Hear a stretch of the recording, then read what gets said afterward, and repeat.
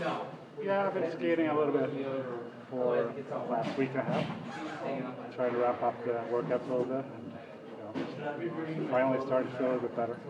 Just uh, yeah, just talk about uh, your progress. Uh, I mean, how much better is it now than it was at the start?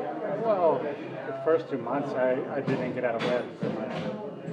I got up and tried to do whatever, and I kind of got a migraine and shut, had to shut right down. So, but the last last month it's been uh, progressing, like slow, slowly but steady, getting better. But it's still, you know, I still got a lot of issues, but at least I can just do workouts and uh, get something done during the day. And uh, I usually get a setback in the afternoon and, and at night, but uh, I'm just happy that I can work out and start start feeling like a human being again. When you say setback, are you like headache or dizziness or? Yeah, yeah.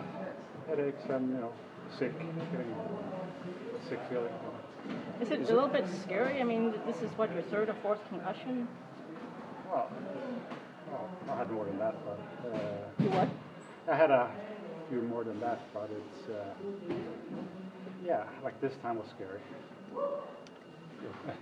this time was a little bit scary, you know, you can, for two months, not being able to, you know, pick up your kids and, or play with your kids for more than like two minutes. And it's, uh, it makes you think a little bit, like, you know, I'm slowly getting, getting better, so you know, I, so that puts my mind to a little rest and just feel feel up better, both mentally and was in a really dark place for those first.